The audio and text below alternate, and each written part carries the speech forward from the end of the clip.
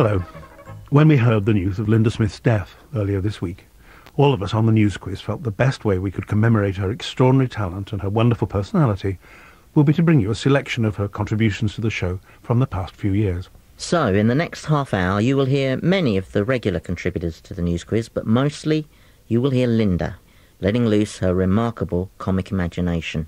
Linda, who's now free as a jailbird to climb Everest on one leg, win the World Cup for the third time in two weeks, and invent a cure for baldness after escaping from Stalag Luft Hollesley Bay. Don't give him the oxygen of publicity. I'm not that happy with him having the oxygen of oxygen, actually. but this is this is Norman Stanley Archer, isn't it? Who's um, been released. Archer. and uh, he's been released to, I must say, the somewhat cryogenic embrace of uh, Mary. the body language. You didn't really have to be Desmond Morris to read that, really, did you? He went forward for the big, great big snog, and she just swerved in a way that none of our England cricket team are able to do. And, uh, you know, I think the message was loud and clear. You've heard this many times from prostitutes, Jeffrey no kissing. Linda, why is there summit up with Bush and Blair this week?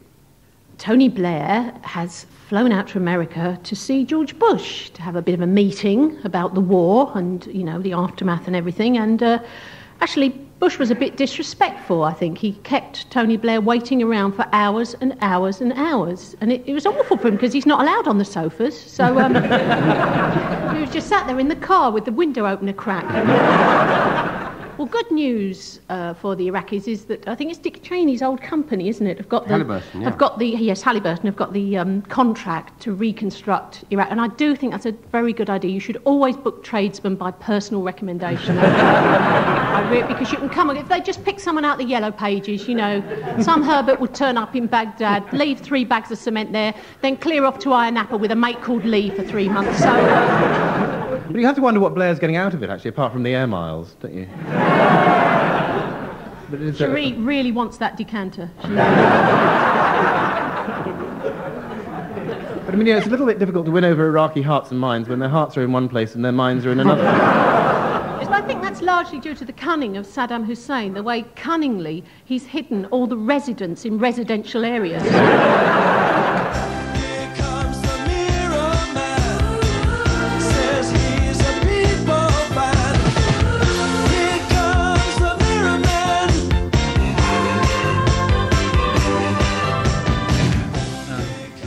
Linda, who's held up a mirror to modern politics in the Mail. Well, I think it could be Piers Morgan, Good. who used to uh, be the editor of The Mirror. He's got a whole new career now uh, as the bloke who used to be the editor of The Mirror. um, and it seems to be working out quite nicely for him, really. He's got uh, 1.2 million pounds for his diaries, which have been serialised in uh, some newspapers and the Daily Mail. Um,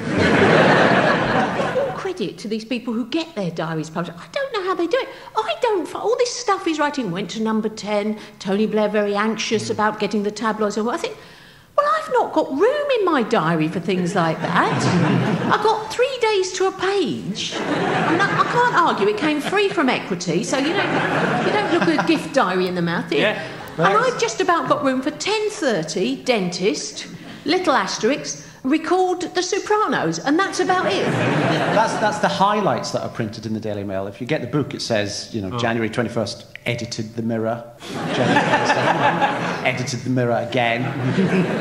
I didn't think you ever did two full days. I think you're wrong.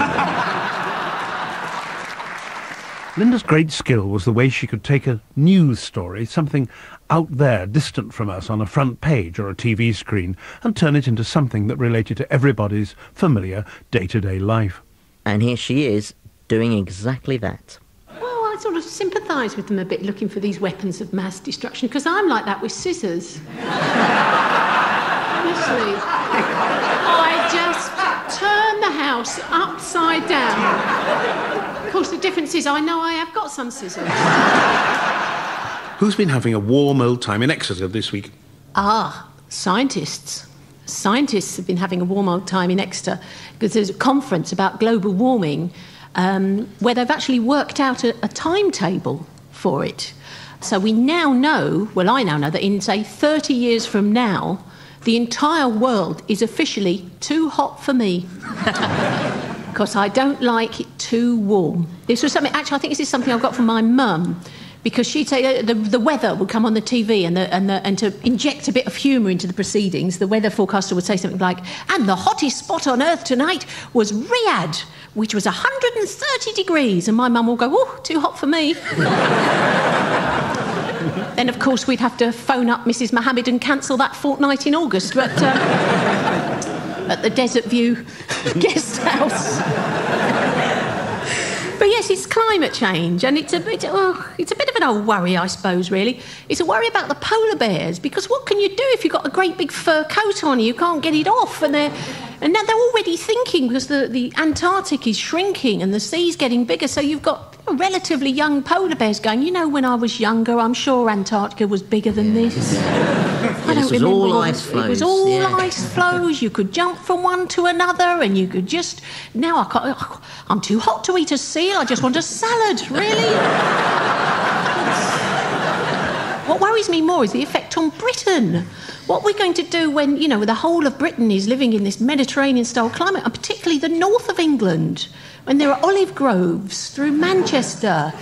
Because what are northern lads going to do with this macho, I'm not cold, I'm walking about in the middle of winter in a t shirt when it's boiling? But, you know, they'll probably just have to start wearing great big fur coats, won't they? And Going, oh, God, God, hot, hot, it's never hot, you soft southern puff, you don't know what hot is. It's not a scarf, get a little coat on that whippet, he's freezing, look at him shivering. Linda, which royal house is listening to house music? Ah, no, yeah, ah, not Royal's Royal House, the Royal Opera House, isn't it? The Royal Opera House, in a bid to get a bit of decent music in for a change, are going to have things like, I don't know, opera house music, I suppose, and, uh, and uh, also films. Aren't they going to have films? Anything for a bit of entertainment, really, which I imagine they're desperate for at the Opera House. But it is dreadful opera, isn't it?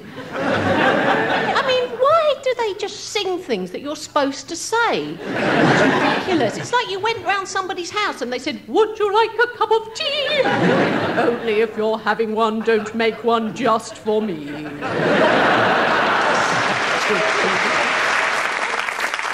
Linda, what is curling?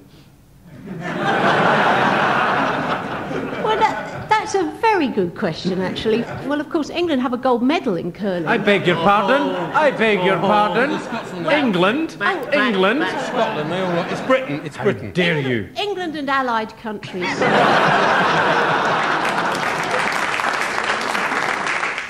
Very light Housework. sweeping, it's isn't it? Housework on ice, is what it is.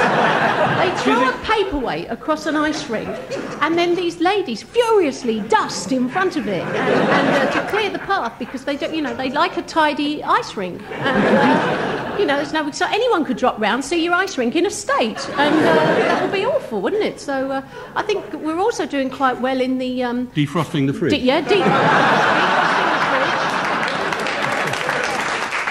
yeah, and I think in the freeform bath cleaning, we're doing marvellously. They've invented things for us, haven't they? Yes. That we're good at tidying up.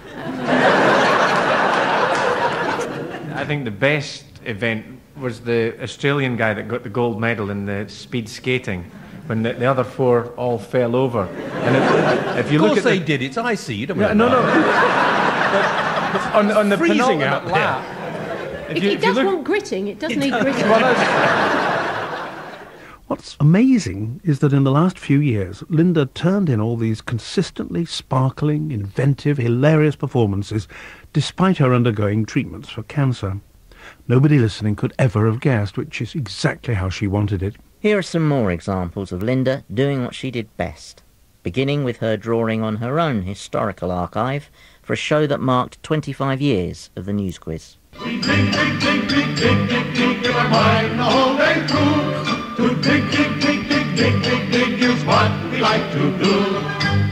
No trick to get rich quick if you dig, dig. Hey ho from Snow White and the Seven Dwarfs. Linda, who- Hi ho, not hey ho.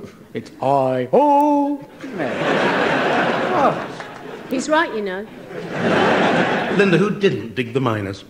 Mrs. Thatcher. We're talking about the miners' strike, I'm taking. And uh, at the time of the miners' strike, now, I mean, this will surprise younger listeners because back in the day, unions used to represent their members rather than sell you pensions and holiday insurance. So there was this big, big miners' strike. And I, at the time, was living in Sheffield, in the heart of South Yorkshire. It was at the heart of the strike there. And there was a great story, actually, from one of the local pits, Cortonwood. It was sort of winter and it was really freezing cold. And the miners, to sort of cheer themselves up and keep warm on the picket line, had built a lovely snowman, you know, with a little scarf and a jolly hat and everything. Lovely thing it was. And a policeman in a Land Rover, a Range Rover, came along and smashed it down. Isn't that mean? Really mean. Smashed down their lovely snowman. So they built another snowman. They weren't deterred, they built another snowman. So the policeman came along in his Range Rover and knocked it down again. Only thing is, this time they built it over a bollard. Linda, who burgered up British beef? ah, well, that would be Mr. Gummer. Was it Selwyn Gummer? Was that really his name? John Selwyn Gummer, John that was his Selwyn full name, Gummer, yes. That's right. Sounds like a stage name, really, doesn't it? But anyway, he um, force fed his daughter with um, some mechanically recovered beef fragments formed into uh, the popular snack hamburger on TV to show that there was no danger from BSE, from mad cow disease. And uh, I don't know how old that girl is now, but I suppose she's probably a teenager. Most teenagers just irrationally hate their parents, don't they? want to be round their house over Christmas, would you? Yes, and I haven't forgot. Let's see that again, shall we? Let's watch that film when you tried to kill me. yes, I would like a flat, thank you. I always found Mad Cow Disease a little bit judgmental as a title, really. Because who's to say they were mad? And also, differently it's very class based because if had they been polo ponies, they'd have been mildly eccentric. So, Linda, which old mouse is a getting shaky? Which old mouse is a getting old? It's the old mouse. This is this old mouse. Um, scientists have bred the oldest laboratory mouse. Now, the mouse is called Yoda. And the little mouse that looks after this old mouse, its carer, I suppose, is called Princess Leia. So I think that tells us quite a lot about the scientists in question. How old is Terrible he? then? nightmares. He's 136 and he's, he's That's genet- in human years. in human years four. he's genetically modified. He's got corn He's for ears. four. I'm four. He keeps going, I'm, I'm four. All the other mice get really, I'm four. I've seen some changes here. I remember you could leave your cage open all day and no one, no one will fit electrodes to your genitals.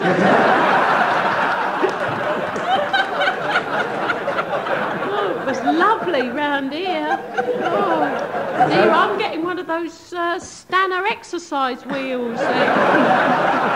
What's the point in having a senile experimental mouse? Because they just put him in mazes, don't Poor they? thing. All he wanted was a hearing aid and he stuck a big ear in the middle of his back. Linda, why has frozen sperm proved a soaring success? Because they've managed to inseminate eagles with frozen sperm. That's why. Bet you have to be quick. Two points. Mind you, they live in the Highlands of Scotland, so it must be getting on that way already, I would have thought. Yeah, but did you hear what they called the eagle, though? They called it Thor. right? Well, no, that's not the name, that's an instruction. Do eagles have testicles? Where, where are they? Why would you need to know that? You'd Well, never you- need you- to know that. You'd certainly need to know that if you wanted eagle sperm, wouldn't you? But I don't want no any, idea. thank you. Sick of people coming round the door trying to sell you things you don't want. It's not double glazing, it's eagle sperm. What do you mean? I mean, I don't understand. What do you mean, how do you get it? You put an eagle in a cubicle with a picture of a swan without any fragments. Linda was incredibly generous with her laughter. Here she is enjoying one of Sandi Toksvig's stories. You know, I was sent. I was sent next week is uh, National Contraception Week, and um, I was sent three packets of condoms, right, and a and a thing, and I thought it was a thing like you measure spaghetti with. Um, uh, it had three separate holes in it, like you could do in a family four, family five, family six. You stick the spaghetti. It wasn't that at all, apparently. It was a. So you got the right size. Uh, thing anyway, it had uh, it had large, regular, and trim. trim, trim. That's aerodynamic. Yeah, trim. that's- I don't know why I was sent it, but they have just. I'm on some list, and um, I've never had anything like this. All I get is the RSPB magazine.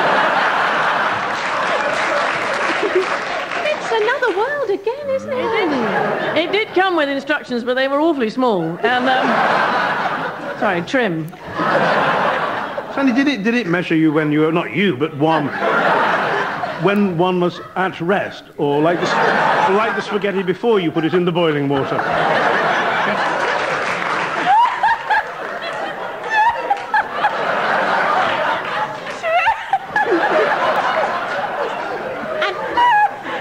What it's trying to say is, do you measure it when it's al dente?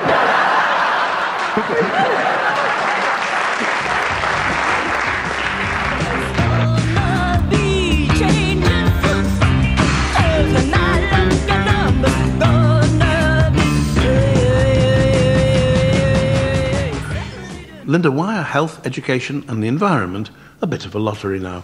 There's going to be this new department of health, education, and scratch cards. Um, but anyway, no. So this is. I, I, I, follow any of this. I don't do the lottery, which means I'm marginally less likely to win than someone who does. do whenever I see queues of people outside newsagents queuing for that, I feel like shouting, "Do you like opera? Do you? Hey, get down there much? Do you, Covent Garden?" But it's, you've got more chance of being hit by an asteroid, haven't you? Particularly if you're queuing outside the newsagents. There's actually so many people now who do the. Lo- There's actually a medical condition called scratch card lung. you inhale the little gold dust. It's it's a leisure-related disease. A whole scratch card lung. It's a modern plague. it's no laughing matter, Simon. People who spent 30 years down coal mines to get that. Well, these days people want instant gratification. Deep down, all of us on the news quiz knew that Linda had the funniest, the fastest, and the most original comedy brain on the programme. The audience obviously agreed because in 2002 she was voted wittiest person in a listener's poll. Linda, anyone fancy a third? Oh, yeah, a third. The organisation to encourage women drinking beer have come up with this idea that it might be more attractive to women if you served, instead of a pint, they got a third of a pint and they got it in a sort of wine glass type affair. What, when I used to, when I was a student in Sheffield, used to be called a lady's glass. a woman, if you went up to the bar and said, Can I have a half a bitter, please? And they'd say, Is it for you, love? And you'd say, Yes. And they'd say, Ah, you'll want it in a lady's glass. Which was like a normal glass, only it had a doily underneath. Some smelling salts on the side in case it was all a bit too much for you. Uh, so this is the idea now that you prefer a, thir- a third of a pint. You prefer it to. I mean, that is not a drink. That is homeopathy. Linda, who was fired from being fired. Oh, this is a very sad story of a man who was a human cannon at the circus. He wanted to do it since he was a kid and he'd sort of practice and sort of did all special skull toughening exercises and everything. And, and he did it and he was great at it, but he hurt his knee. He just a little knee injury, and they said, Well, no, I'm sorry, there, there's a health and safety issue here. I'm afraid it's a surprisingly dangerous job being fired from a cannon, and you will have to go on a special safety course in Brazil, which apparently is a centre of excellence for the human cannon industry. But he said, Oh, oh no, no, I can't fly. So, so they've sacked him, and he's heartbroken, and he's uh, he's suing them for, for wrongful dismissal. But I think they need to take a lateral approach here. All right, he doesn't like aeroplanes. He's frightened of aeroplanes. Many people are. He likes the cannon. a bigger cannon. That's the idea, get him to Brazil, but he doesn't want one of those cheap economy line ones. He doesn't want to go on an easy cannon. It's like easy cannon, there's no net at the other end. No. Linda, who made a meal of their half-time pep talk. Ah, Dame Delia. Just astonishing pictures of her at the, at the, in the paper from this football match, Norwich City, who she's a chairwoman of, and she's sort of saved them and given them loads of money. And to be honest, I don't want to cast aspersions, but from the look of her in those photos, I think she might have sucked the rum out of about two dozen babas. she looked like your auntie at Christmas. She really did. Like looked like she'd been on the on the port and lemon big style. so she shouted at her, "Oh, help and win! Oh, cheer him up! Give me that right good microphone! Give it here! Go on, get out of here, all of you!" You don't know me, you don't know anything about me. Just give me a microphone. Okay, right. I love you. You're the best fans in the world. and I've got a lovely recipe for apple crumble. and I'm giving it to you till you start singing, all right? Sing, sing. And that was it, really.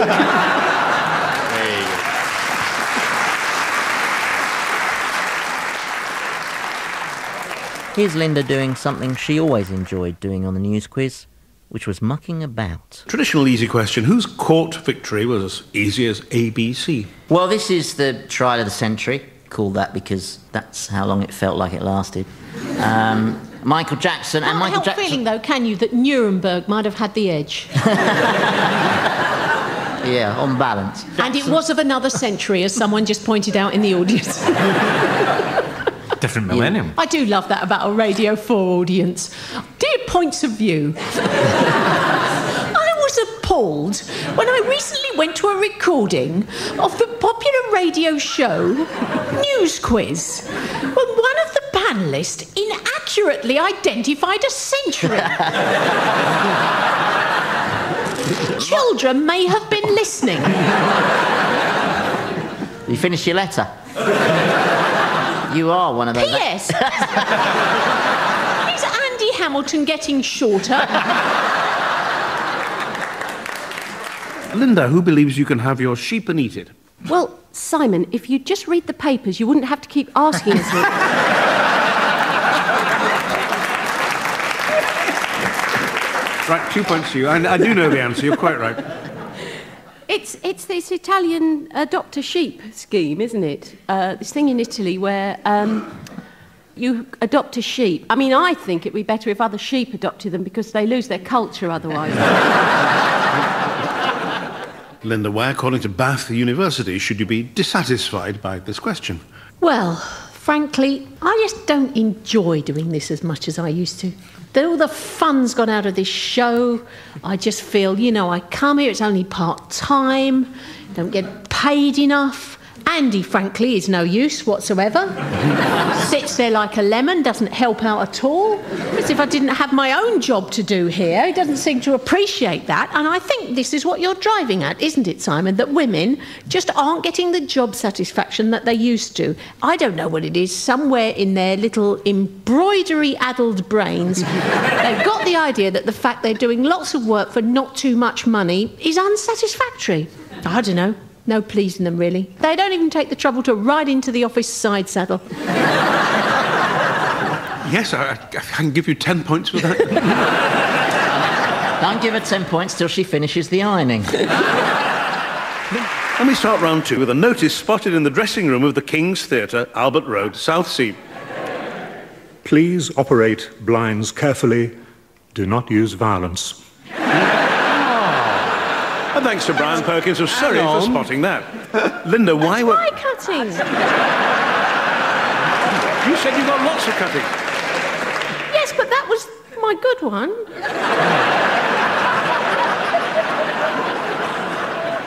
Linda, whose wedding plans have made him look a proper Charlie? Don't know, don't care.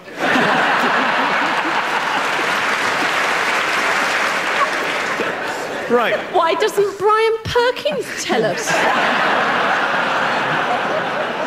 I, I, I'll rise above this situation. Um, this is uh, Camilla and Prince Charles, or as I like to think of them, Rod Hull and Emu.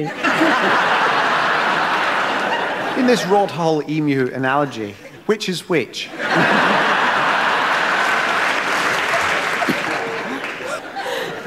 I, I would have thought that was obvious, really. Yes. you the will- one that looks like Rod Hull is Rod Hull. and the one that looks like Emu is Emu. And how far up does the arm go? How far would you like it to go? Judging by the look on his face, quite a long way. I've been waiting 65 years for a knighthood and I've buggered it tonight. Oh, no, you haven't.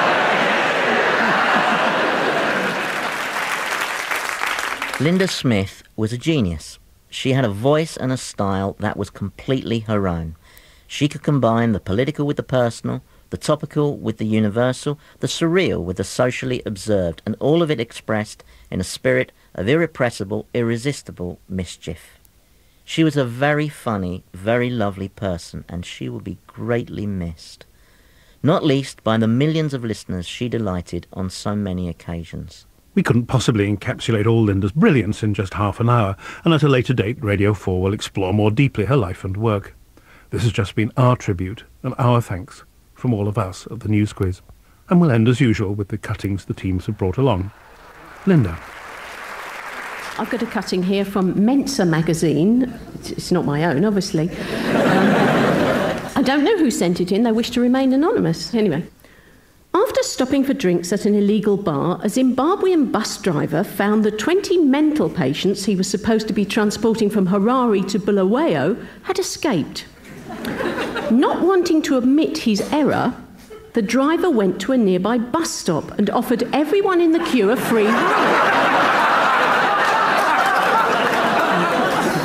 He then delivered the passengers to the mental hospital,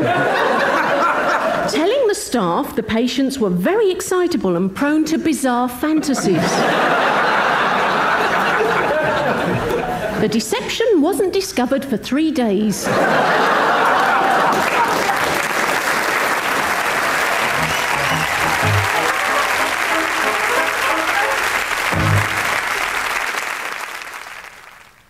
Let me just tell you that next Saturday evening, BBC Two will be paying their tribute to Linda Smith with an edition of Have I Got News for You and Room 101. That's next Saturday night starting at half past ten.